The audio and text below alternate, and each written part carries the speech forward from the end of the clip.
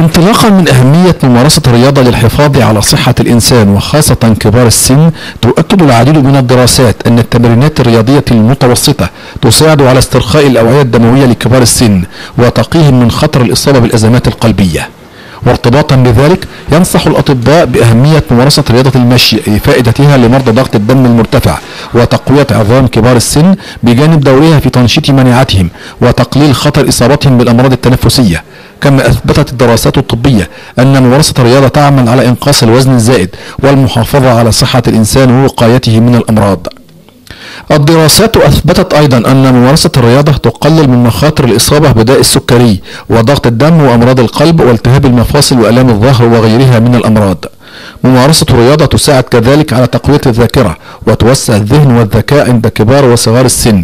كما أثبتت الدراسات الطبية أن السيدات اللواتي يواظبن على المشي بشكل منتظم يصبحن أقل عرضة للإصابة بالإضطرابات العقلية وحالات ضعف الذاكرة في السن المتقدمة. وتترقت الدراسة إلى أن ممارسة الرياضة الجيدة والمنتظمة تفيد الجسم وتمتد آثارها الصحية إلى العقل أيضا لفاعليتها في تنشيط نمو الأعصاب وتجديد التالف منها. كما أشارت الدراسة إلى أن التمارين الرياضية تحافظ على توازن الكوليسترول في الدم وبالتالي على القلب والدورة الدموية والأوعية الدموية مؤكدة أن ممارسة الرياضة المعتدلة بانتظام تنشط الوظيفة المناعية المخاطية عند الأشخاص المسنين والشباب أيضا.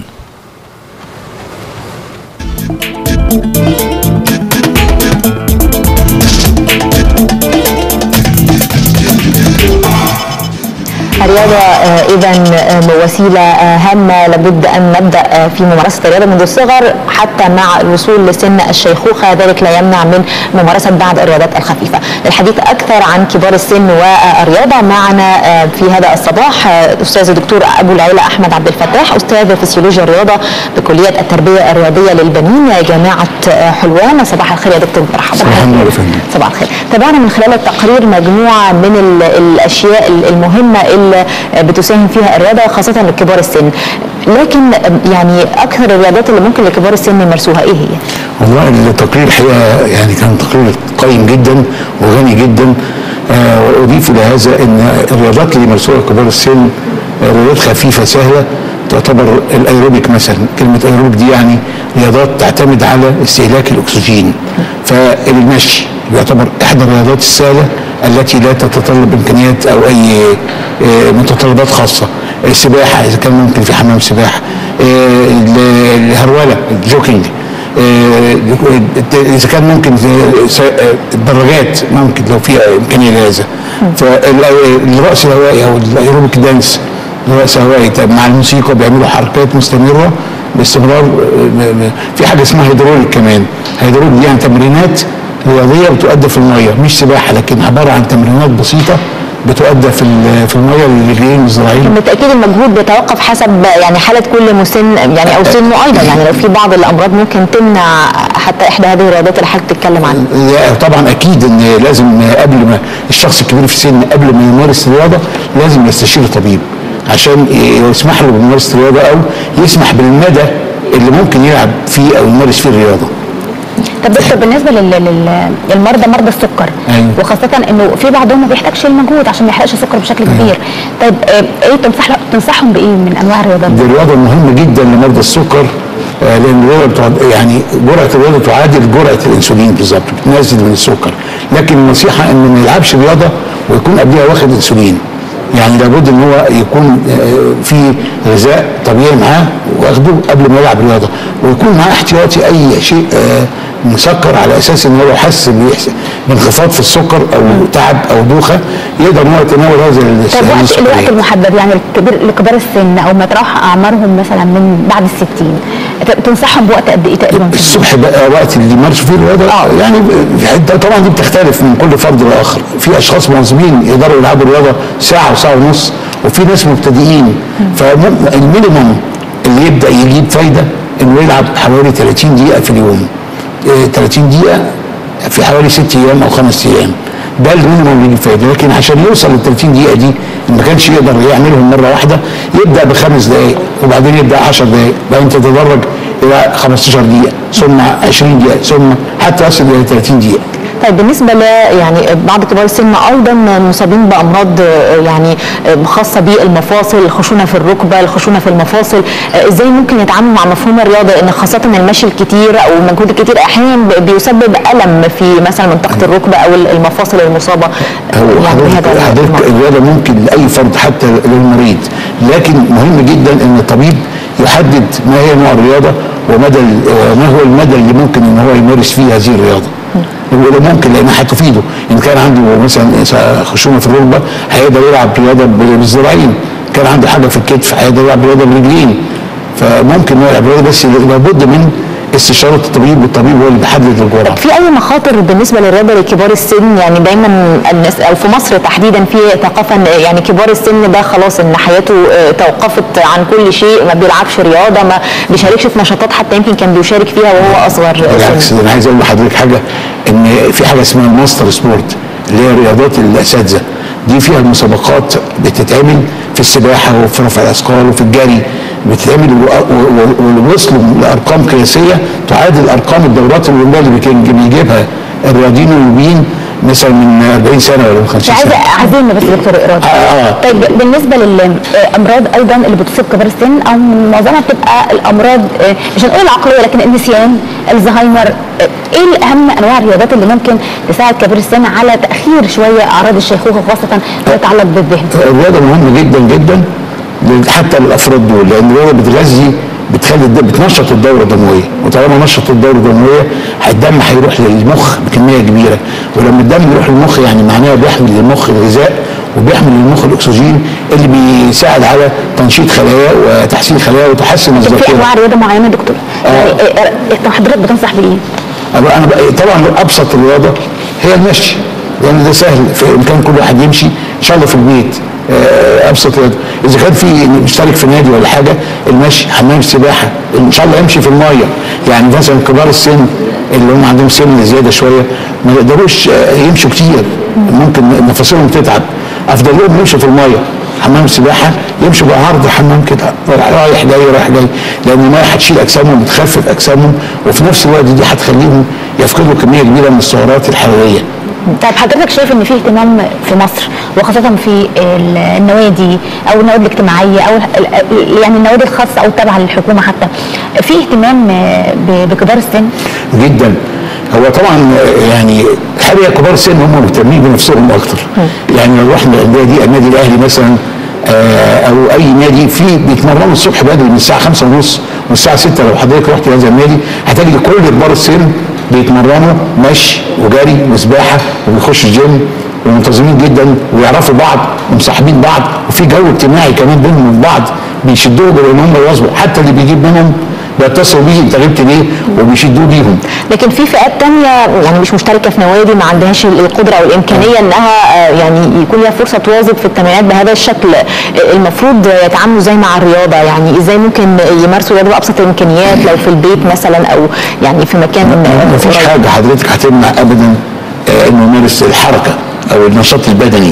يعني هو لو رايح مشوار يمشي مش لازم إن هو يركب آه، تاكسي أو يركب أي حاجة يعني لو قريب يعني أحيانا. المشي بيبقى موجود مع عدم وجود رصيف يعني مشي في الشارع في بعض بقى نوع برضه. من التمرين على تغيير اتجاهه وتوازنه وحاجات زي كده يقدر يلعب رياضة في البيت يقدر يمشي في البيت حتى خطوة تنظيم كده رفع رجلين أو جري في المكان يقدر يلعب رياضة إنه كمان يشيل مثلا أي تقل في البيت ويكرره عدة مرات ده تنشيط للعضلات.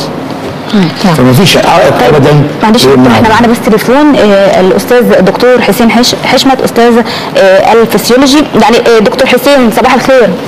صباح الخير يعني بداية إحنا بنتكلم عن الرياضة وأهميتها بالنسبة آه، لكبار السن. يعني هل في قواعد أو معايير معينة لاستخدام كبار السن الرياضة وأنواع الرياضة المفضلة بالنسبة لهذا السن؟ آه بالنسبة طبعا الرياضة المفضلة ومطلوبة للجميع سواء لصغار السن أو لكبار السن. بس الأحوج أحوج إلى الرياضة هم كبار السن. وأسلم وأضمن رياضة هي المشي. طبعا المشي المنتظم والخطوات منتظمة وفي نفس الوقت يوميا بحيث إن يعني على الأقل إذا قدر الإنسان سواء بالذات كبار السن إن هم يعني يقوموا بعملية المشي دي آه، نص ساعة كل يوم تبقى آه، يعني دي هتفيد صحتهم بدرجة كبيرة جدا. طب دكتور يعني الشخص اللي كان مواظب على ممارسة الرياضة فيه وهو سنه صغير يمكن توقف فترة وفكر إن هو يعود مرة أخرى لممارستها مع آه، كبر سنه هل بيختلف تعامله مع الرياضة عن ال- اللي عمره ما مارس الرياضة يعني حتى سواء كانت مشي أو جري؟ لا يعني هو الإنسان يعني لا يعني ربنا خلق الإنسان للحركة مش للسكون. ف يعني اللي كان بيمارس الرياضة. طبعا في الصغر بيبقى آه، تكون رياضة عنيفة شوية. لكن مع الكبر لابد إنها تبقى يعني رياضة منتظمة. أهم حاجة إنها تكون منتظمة.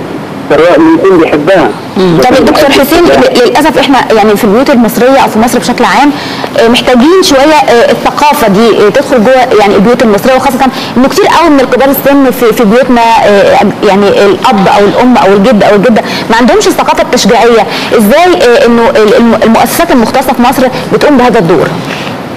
لا هي طبعا المفروض ده واجب علينا كلنا إن إحنا وخصوصا اللي هم مارسوا آه، العمل في المجال الطبي والرياضي اللي يشجعوا الناس وأنا بعمل باستمرار محاضرات سواء في الكليه عندي أو في كل الكليات وفي الأماكن اللي بتطلبني يعني.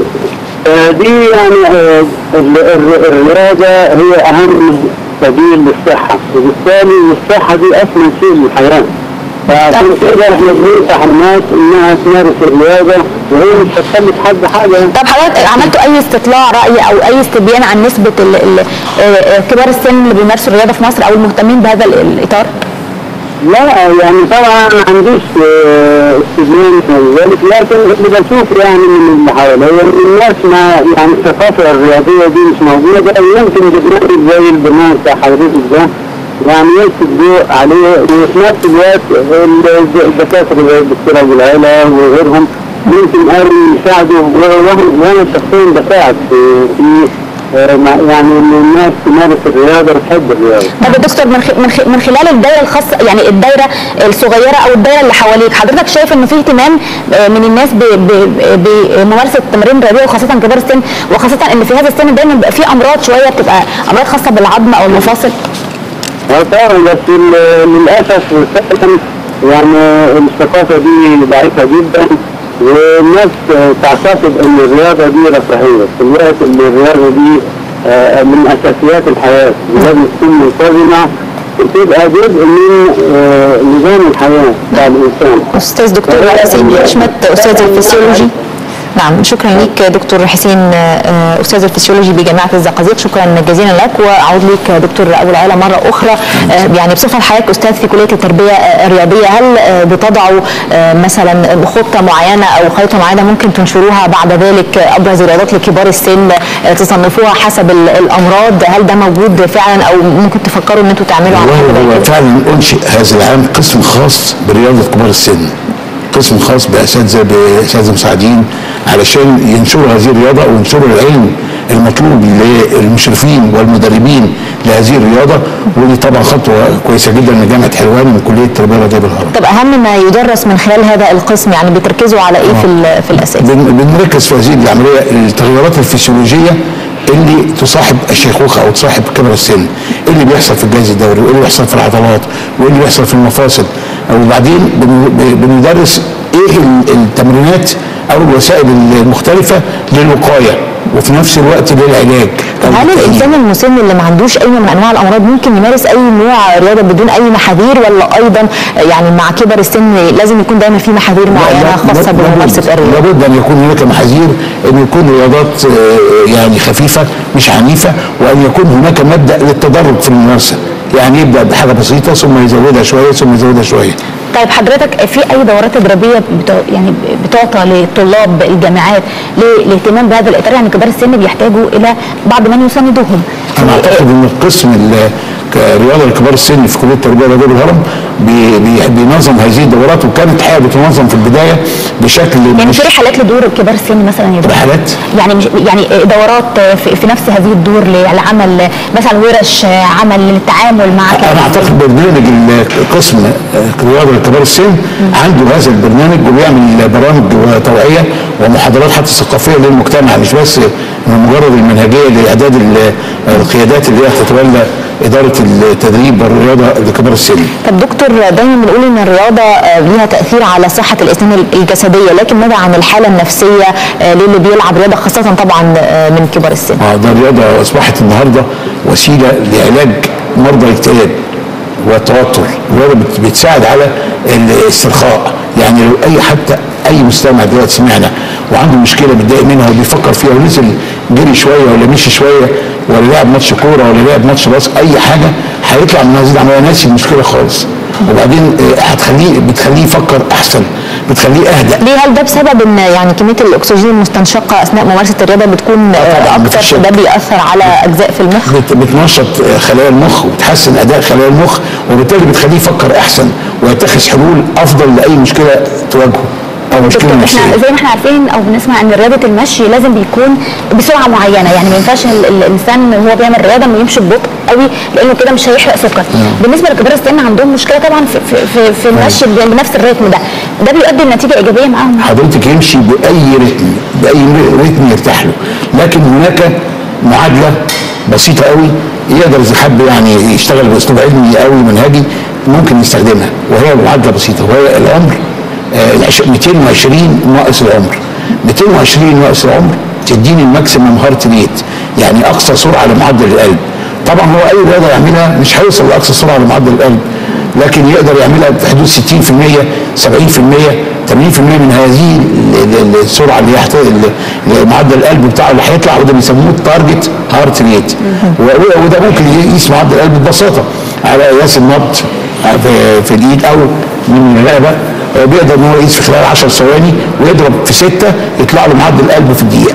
طيب بيحتاجوا ل- لنظام غذائي معين؟ يعني نظام غذائي معين طبيعي ال- التغذية كبار السن بيحتاجوا التركيز على الكالسيوم والبروتين وال وعادي بياخد وجبه غذائية متكاملة متوازنه ويهتم بال minerals أو الأملاح المعدنية وال vitamins الفيتامينات لأن دي كلها بتساعده على آه، المحافظه على العظام والمحافظه على وظائف الجسم في طريقة يعني بشكل طبيعي. طيب يا دكتور آه، أهمية الرياضة في فترة النقاهة بعد العمليات الجراحية آه، خاصة لكبار السن آه، أيضا إزاي الرياضة بتأثر على آه، يعني السرعة في الشفاء آه، يعني ال- إن ال- الإنسان اللي مثلا عمل عملية جراحية في قدمه أو في أي طبعا منطقة إزاي الرياضة بتساعده عشان يشفى بشكرك جدا على هذا السؤال لأن فعلا ينقصنا هذا الموضوع بعد العمليات حتى العمليات القلب الجراحيه دلوقتي أصبح الحركة مهمة وأصبح الطبيب بيوصف الحركة. وأي طبيب حتى الواحد دلوقتي بيروح له عنده ضغط أو عنده سكر أو عنده بيوصف له إنه يعمل رياضة يقول له اعمل رياضة وبس. لكن هناك فعلا حاجة اسمها clinical exercise physiology clinical exercise physiology يعني الفسيولوجي الخاص بالتأهيل بعد العمليات الجراحية وفي حالات المرض المختلفة. هذا العلم وهذه التطبيقات ما زالت لسه مش موجودة عندنا. وأنا أعتقد ان لو في center جديد يتفتح آه، لهذه العمليات لهذه العمليات ويشرف عليه ناس علميين. ويستطيع هذا ال center إنه يقدم برامج لتأهيل الناس أو الأفراد بعد العمليات الجراحية هيبقى مشروع جيد جدا. يعني العمل في هذا المجال حتى الآن هو مجهود شخصي أو لو آه. شخص بيتابع مثلا من خلال الإنترنت أو ليه أقارب أطباء ممكن يساعدوه لكن غير ده- كده للأسف مش لكن موجود. ده ده يعني مشروع مهم قوي. وموجود بره مراكز تأهيل مخصوص للحاجات دي.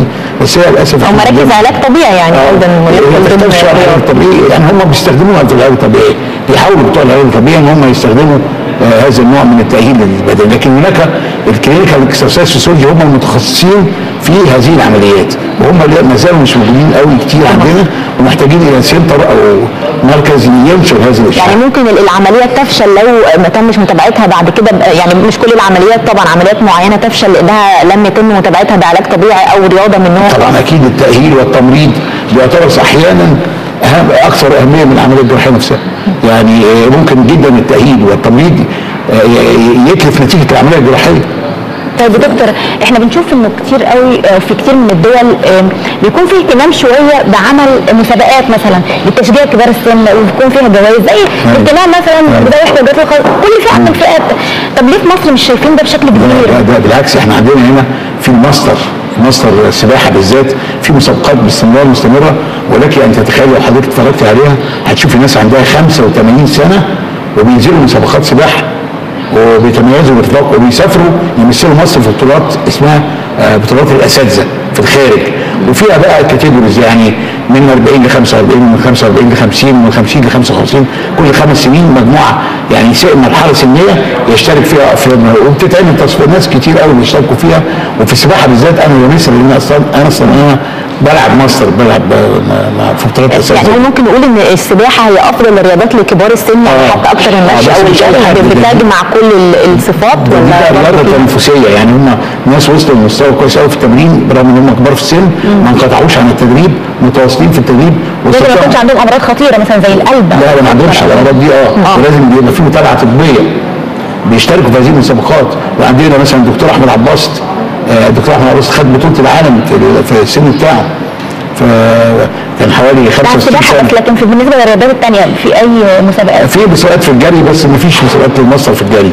إنما بتعمل ساعات ماراثون بيشترك مفتوح لكل الأعمار. إنما مسابقات الماستر آه، يا ريت الاتحاد العالمي للكرة برضك يعملها لأن اتحاد السباحة بيعمل هذه المسابقات للناس دي ويبقوا مشغوفين جدا بيها بيسألوا عليها ومنتظرين في التدريب عشان يشترك في هذه المسابقة. طب يا دكتور بالنسبة لدار المسنين أو يعني أحيانا آه، أو الموجودين في دار المسنين بيكون حالتهم النفسية آه، يعني آه، شوية مش كويسة بسبب عدم وجودهم مع أولادهم أو كذا.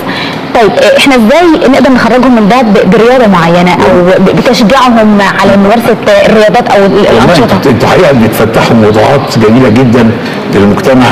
إحنا محتاجين في دار المسنين ان يهتموا بالنشاط البدني ويكون هناك برامج لكبار السن تساعدهم على التغلب على الوحدة وعلى ال- الإحساس بالعزلة وعلى ال- ال- ال- الاكتئاب والمشاكل النفسية اللي هم بيشعروا بيها. فمحتاجين إن هم يمارسوا رياضة رياضة خفيفة. يعني رياضه خفيفه بسيطة جدا. طب دور المؤسسات المختصه ده بقى يا دكتور إحنا عايزين يبقى في دور آه، فاعل أو آه، دور آه، على أرض الواقع بيقدم لهذه الدور. حضرتك بتنصح بإيه؟ إحنا بنوجه لها نداء وبنوجه نداء أيضا من كلية التربية الرياضية إنها تناشد وتخاطب وتواصل تتواصل مع هذه الدور وتستطيع إن هو تقدم لهم أخصائيين يقوموا بالعمل وبرامج يشتغلوا عليها ودي تبقى يعني فتحنا مجال تاني جديد. يعني إحنا النهارده الحمد لله بنطلع أفكار جديدة آه، دي يمكن أن تنتج عنها فوائد عظيمة لل- للناس والمواطنين. طب السن اللي ممكن المسن يمارس فيه الرياضة إلى سن كام ولا حتى يعني يبلغ من. العمر ارذله زي ما بيقولوا حدود إلى أقصى طالما منتظم في الممارسة وبنمارس على طول حضرتك آه، يعني آه، لازم تستمر العملية لازم تستمر على طول مفيش ابدا حد بيبطل رياضه في لغاية 91 سنة أنا لو كان ممكن كنت جبت لكم أرقام قياسية لناس بتلعب رياضة في سن 90 سنة وفي سن 95 سنة وبرغم كده بيلعبوا بيلعبوا وبيستمروا. وبيصلوا إلى مستوى عظيم جدا. نتمنى إن ثقافة ال- الرياضة للكبار مش للكبار للجميع في مصر تكون سائده بشكل آه، أكبر. ويعني يتم الاهتمام بالأجزاء اللي اتكلمنا عنها كبار السن وفترة النقاهه فيما بعد العمليات الجراحية. أستاذ الدكتور ابو العلا أحمد عبد الفتاح أستاذ فسيولوجيا الرياضة بكلية التربية الرياضية للبنين جامعة حلوان. شكرا جزيلا على شكراً. تشريفك. شكرا صباح الخير. صباح الخير.